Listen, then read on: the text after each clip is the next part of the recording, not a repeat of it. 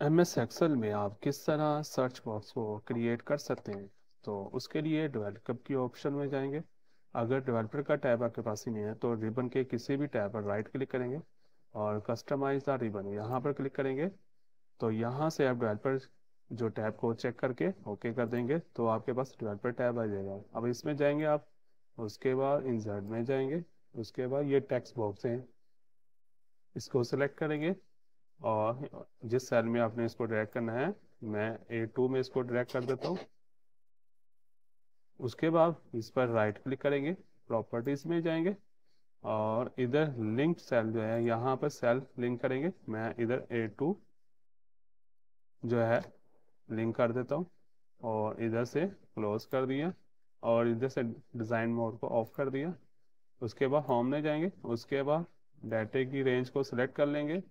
उसके बाद conditional formatting पर क्लिक करेंगे उसके बाद न्यू रूल पर क्लिक करेंगे, उसके बाद यूज़ ऑफ़ फार्मूला इस पर क्लिक करेंगे और इधर फॉर्मेट टाइप करेंगे equal to and bracket star type करेंगे सर्च ब्रैकेट स्टार उसके बाद डॉलर का साइन उसके बाद ए फिर डॉलर का साइन उसके बाद सेल का जो रो नंबर है, वो लिखेंगे, इधर मेरी जो ए टू बन रही है रो जो मैंने सेल लिंक किया है और उसके बाद कॉमा उसके बाद जहाँ से रेंज आपकी सिलेक्ट हो रही है, वो सेल टाइप करेंगे।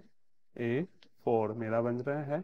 उसके बाद आपने क्या करना है? ब्रैकेट क्लोज कर देंगे। फिर कॉमा फिर डॉलर का साइन फिर ए फिर डॉलर का साइन और उसके बाद फिर जहाँ सेल जो लिंक किया हुआ है, वो टाइप करेंगे।